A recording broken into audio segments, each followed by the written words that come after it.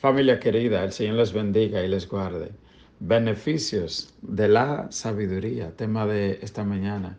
Una vez alguien dijo, la ignorancia es atrevida, es decir, cuando desconocemos ciertas cosas podemos comportarnos de manera arrogante y de esto habla la palabra de Dios, pero al mismo tiempo, cuando la sabiduría está en nuestros corazones, la manera de pensar, de actuar, de discernir las cosas cambia. Pablo decía, cuando yo era niño, actuaba como niño, pensaba como niño, pero después que fui grande, pues eso cambió.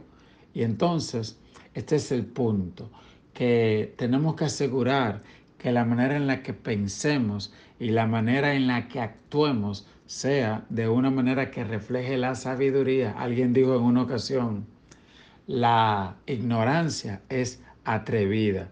Y vamos a ver cómo esto se refleja en el libro de los Proverbios en un comportamiento inadecuado. Proverbios capítulo 8, del 1 al 21, y la lectura para este día está en Apocalipsis 13, Esther capítulos 3 y 4, Salmos 106. ¿No clama la sabiduría y da su voz la inteligencia? En las alturas, junto al camino, a las encrucijadas de las veredas se para, en el lugar de las puertas, a la entrada de la ciudad, a la entrada de las puertas, da voces. Fíjese que la sabiduría no solo da voces, sino que escoge lugares precisos donde instalarse. Me parece aquellos predicadores itinerantes que iban a los parques eh, como Pablo, que iba donde se reunían la, gente, o iban a la sinagoga. Y aquí dice entre las puertas. Entre las puertas es que antes las ciudades tenían una doble puerta. Eh, cuando usted entraba, había un espacio ahí ya dentro de la muralla y luego tenía que atravesar otra puerta más para entrar a la ciudad. Así que los negocios, etcétera, se hacían ahí entre las dos puertas. ¿Ok? Y por eso dice que ahí se para la sabiduría, donde se reúnen los hombres para, para clamar, para vociferar sus razones. ¿Ok? Entonces, hay personas que dicen, no, pero ¿qué va a pasar de aquella gente que nunca han conocido a Dios? Que no, no, no, no.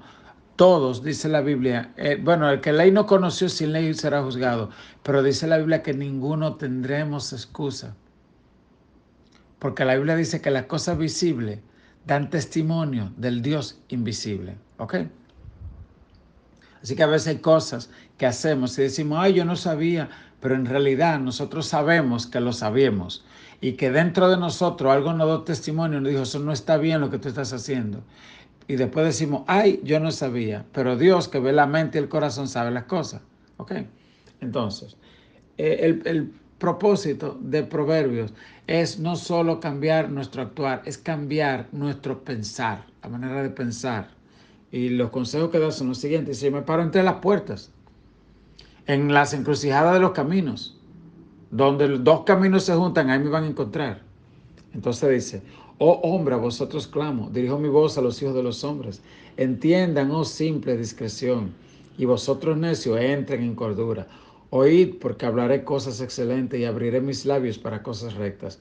Como le expliqué anteriormente, el simple es la persona que se deja llevar de cualquier cosa, y que no tiene claro quién es él, ni en quién ha creído, ni nada. Hoy es verde, mañana es, es, es gris. Ese es el simple.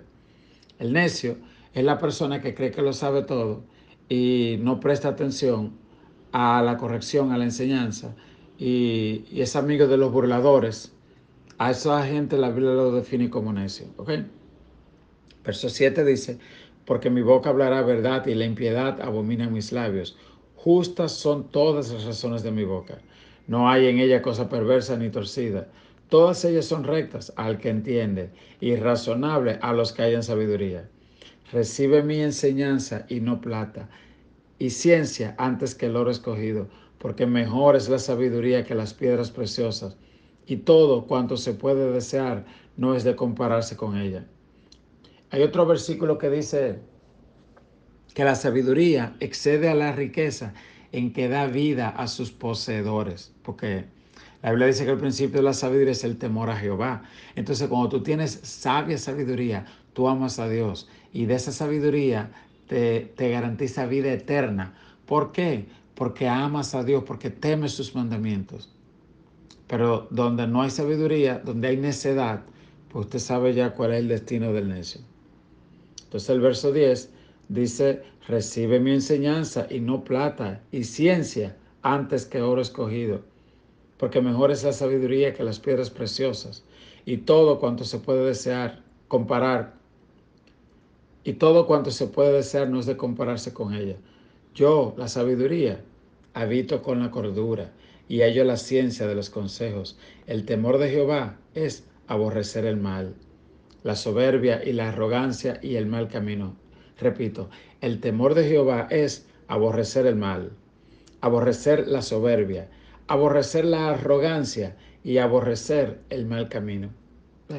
Entonces dice que cuando tenemos verdadera sabiduría, porque la Biblia dice que el principio de la sabiduría es el temor a Dios. Así que cuando tememos a Dios, cuando sabemos que nuestra vida es solo un soplo y que, y que tenemos que depender de Dios y no de hombre, cuando entendemos esto, entonces, ¿verdad? Dice la Biblia, eh, el temor de Jehová es aborrecer el mal.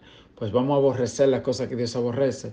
Vamos a aborrecer la soberbia, la arrogancia y el mal camino. Y dice la Biblia, y la boca perversa. Continúa el verso 14. Conmigo está el consejo y el buen juicio. Yo soy la inteligencia.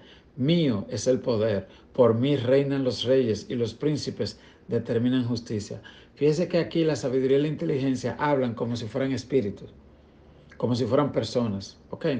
Y es bueno notar que la Biblia dice, creo que en Primera de Corintios, Cristo, sabiduría de Dios. Eh, la Biblia dice que Jesús es la imagen visible del Dios invisible. Así que en Cristo la sabiduría y la inteligencia se personificaron. ¿Ok? Y así como en Proverbios, antes dice aquí que se paraba en las puertas, en los caminos, en las encrucijadas, justo Jesús hizo eso. Hay personas que se dicen cristianos, evangélicos, tal vez son evangélicos, pero no cristianos. Porque el cristiano, eh, si usted tal vez es emocionado y conoce la jerga cristiana y va a la iglesia y se comporta como cristiano, o se cree, eh, eh, perdón, como evangélico, entonces pero, pero usted no conoce las enseñanzas de Cristo, ni las pone en práctica, entonces usted no es cristiano. ¿Ok? Tú puedes decir, ah, yo soy católico, yo soy evangélico, pero tú eres cristiano. Entonces hay gente que nunca se han leído Mateo. Tú tienes que haberse leído los evangelios, aunque sea cuatro veces, para que vayas reteniendo las enseñanzas. Mateo, Marcos, Lucas, Juan. Le hace las cartas que es el libro de los hechos y las cartas eh, pastorales y apostólicas que hay ahí, para que conozca de la sabiduría de Dios. Hay una epístola que la gente habla poco y que casi no le gusta leer, una carta, porque conocemos la carta a los Efesios, a Filipenses, que escribió Pablo, pero hay una carta que le escribió Cristo. ¿Usted sabe cuál es esa? El libro de Apocalipsis. Él no la escribió, pero él la reveló directamente, aunque toda la escritura es inspirada por Dios. Pero ningún libro como Apocalipsis dice, bienaventurado el que oye y lo que lee la palabra de la profecía de este libro. Porque, y ese libro se llama La revelación de Jesucristo, el libro de Apocalipsis. Es decir, es una carta que el mismo Jesús envía primero a las siete iglesias, y, o sea, a, la iglesia de todos los tiempos, y luego de manera muy particular a la iglesia del fin, Apocalipsis. A Daniel cuando le mostraron algo, a Daniel le dijeron, cierra, que eso no es para este tiempo. Pero mire, hermano querido, este es el tiempo de usted y yo leer esa carta de Cristo a la iglesia, a la humanidad que se llama el Apocalipsis. ¿Ok? Les recuerdo además que todos los domingos estamos dando unos estudios sobre este tema, sobre el tema de Apocalipsis. Entonces, dice el verso 18, el 17, hablando de la inteligencia y la sabiduría. Yo amo a los que me aman y me hallan los que temprano me buscan. Entonces, amo a los que me aman y me hallan los que temprano me buscan. Yo recuerdo cuando estaba más joven que, más joven, ¿verdad? Que eh, estudiábamos álgebra, mi hermano y yo, él se quedaba con alguien que le explicaba eh, el álgebra mientras que yo me iba por ahí a jugar eh, mangolina, pisacolá, yo te sabe todas esas cosas que uno jugaba.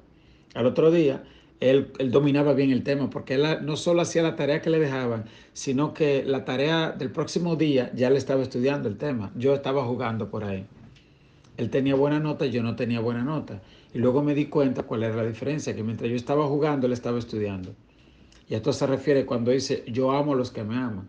Cuando uno ama la sabiduría la inteligencia, uno va a encontrar tiempo para leer la palabra de Dios, para orar, para buscar el rostro de Dios. ¿Ok? Para cultivar eh, su intelecto. ¿Ok? La manera de hablar, la manera de ser. Por eso es bueno leer. ¿Ok? Entonces yo amo a los que me aman, dice la sabiduría y la inteligencia. Verso 18 dice, las riquezas y, las, y la honra están conmigo. Riqueza duradera y justicia. Oiga eso, hermano. Riquezas duraderas. ¿Cómo que dice por otra parte?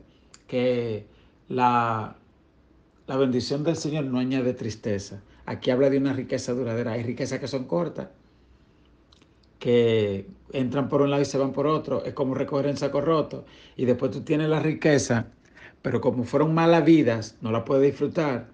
O, te trae un problema por otro lado. O aún te permite a Dios disfrutarla de alguna manera aquí en la tierra y en el cielo que tú te vas a llevar. Aquí está hablando de riqueza duradera. El 19 nos dice, mejor es mi fruto que el oro y que el oro refinado, y mi rédito mejor que la plata escogida. Por vereda de justicia guiaré, por en medio de senda de juicio, para hacer que los que me aman tengan su heredad y que yo llene sus tesoros.